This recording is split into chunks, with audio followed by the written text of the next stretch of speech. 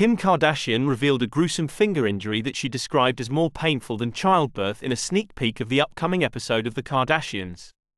The 43 year old reality star and business mogul is seen visiting a doctor to examine her left middle finger, which is heavily bandaged and splintered.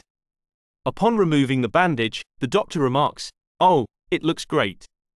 To which Kardashian responds incredulously, as the tip of her finger appears missing and surrounded by dried blood.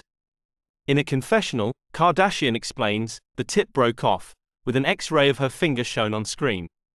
The injury, sustained around March, was first noticed by fans when Kardashian appeared with thick bandages on her fingers in a TikTok video promoting her skincare line, SKKN.